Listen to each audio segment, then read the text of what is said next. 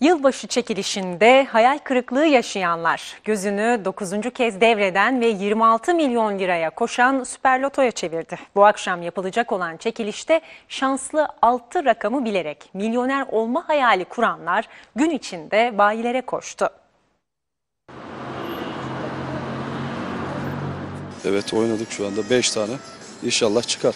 6 bilen çıkmayınca 9. kez devreden Süper Loto vatandaşlarda büyük heyecan yarattı. 9. kez devretti haberiniz var mı? Var. 26 milyona koşuyor. 20 ben taşıyamam oğlum. Çok ağır para o. Ya inşallah bize çıkar. Çıkarsa ne yapacaksınız? Çıkarsak yardım yaparız ya.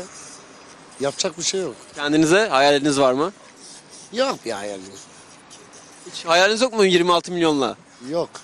Ne yapacaksınız 26 milyonu? Arkadaşlara dağıtacağım. Ha, cömert, cömertim diyorsunuz. Aynen. Evet şu anda saatlerimiz öğlen bir buçuğu gösteriyor. Süper Loto'da da büyük ikramiyenin tutarı ise şu anda 24 milyon 353 bin lira.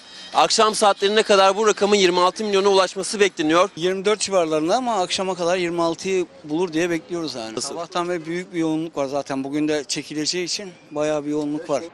Mütevazi hayalleri olan da var, ilginç hayaller kuran da. Tutacak mı bu sefer? Onun için oynuyorum. 9. kez devretti 26 milyona koşuyor. O zaman daha dikkatli oynamam değişen bir şey yok. Çıkarsa ne yapacaksınız? Çıkarsa çok güzel bir ev alacağım. Başka var mı? Başka çiftlik kuracağım. Hayvan bakacağım. Et kıtlığını öl- çözeceğiz. Hayalim mi?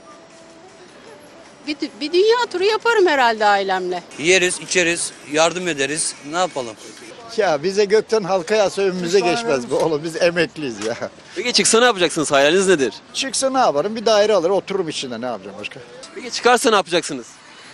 Vallahi ne yapalım çil çocuk vardır ev, va- ev yok bir şeyler işte bir şeyler edeceğiz.